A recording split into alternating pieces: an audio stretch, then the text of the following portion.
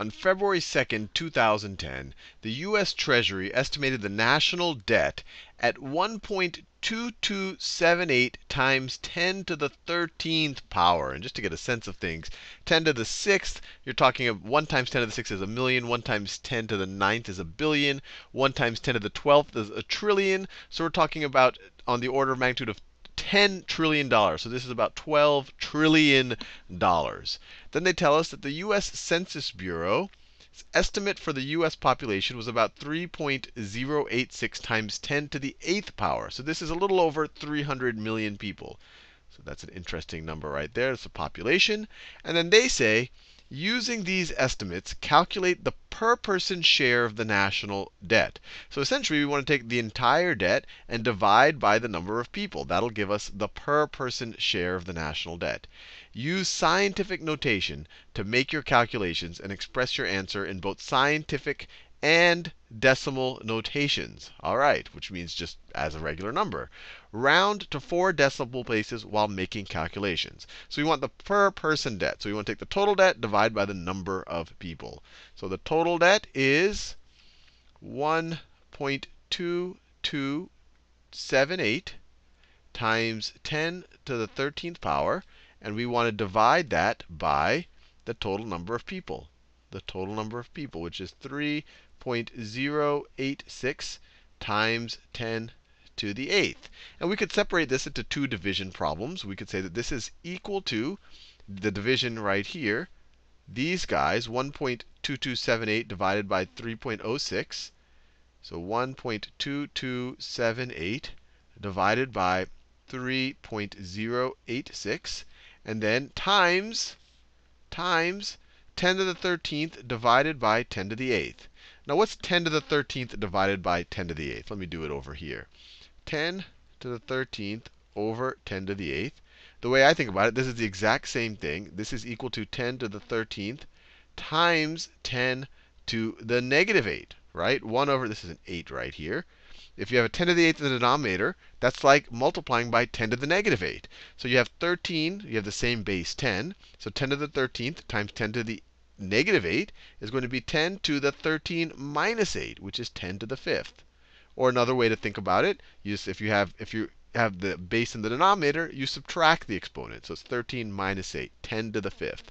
So it's this blue expression times 10 to the fifth. 10 to the 13th divided by 10 to the 8th is 10 to the fifth. 10 to the fifth power. And let's get a calculator out to calculate this right here. Let's get the calculator out. And they say round everything to four decimal places. So I'll keep that in mind. So let me turn my calculator on. 1.2278 divided by 3.0, nope, 3.086 is equal to 3, let's see how many, 3979, because we want to round right there, four digits. So 3979, let me remember that. Or let me just put it on the side. Let me put it on the side so I can still look at it. So this, this little dividing decimals problem results in, this is 0, 0 0.3979, and of course times 10 to the fifth, times 10 to the fifth dollars per person. Now, once again, you might be tempted to say, hey, this isn't scientific notation. I have some number times a power of 10.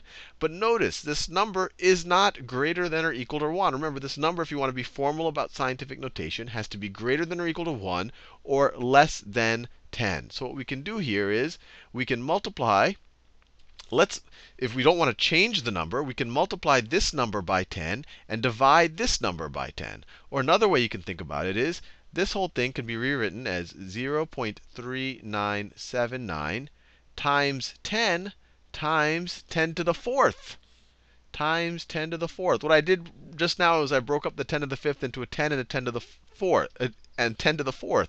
And I did that because I want to multiply this by 10 so I can get a 3 out front instead of a 0.3.